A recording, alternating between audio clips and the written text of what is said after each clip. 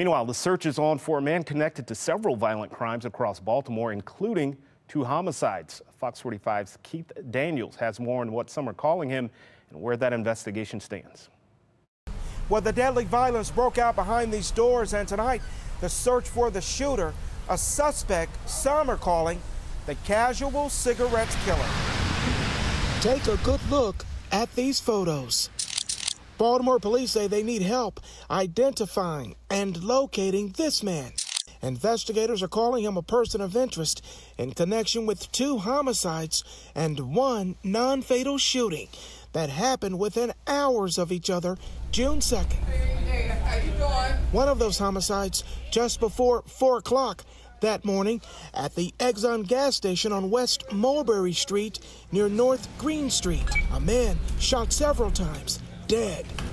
The suspect caught on camera. Can I get 32 on 7?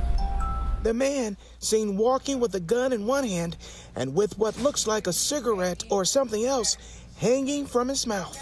That image to one of the clerks seems very casual for a suspected killer on a mission. he was so cool. He what? He, he looked so cool.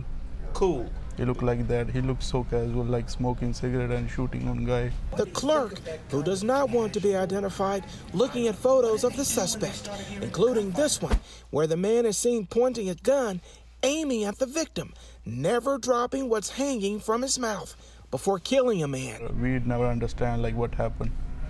First, first they were talking, and after that, it's gonna happen here.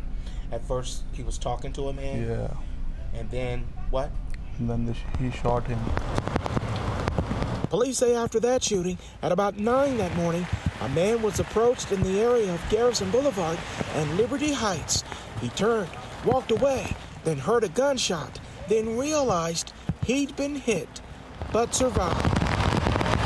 Then later, 5 p.m., another man, gunned down, later at the hospital, pronounced dead. Three shootings, two of them fatal one person of interest. At the Exxon, the security guard, who was not there that morning. It seemed like a person to me that had no care in the world. Commenting on the suspect's photo and the deadly shooting that happened at the gas station. Because a gas station should be a, a safe haven. That's what I think. Because this is this is a place of business. You're supposed to come here, get gas, snacks, whatever, and go about your business. This, no. Well, if you recognize the man in those images, you're urged to call police. Remember, you can remain anonymous by calling Metro Crime Stoppers, the number on your screen.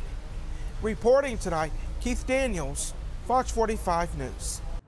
I'm Kai Jackson. Thank you for watching. Here's another video to watch. Also, please take a moment to subscribe to our channel.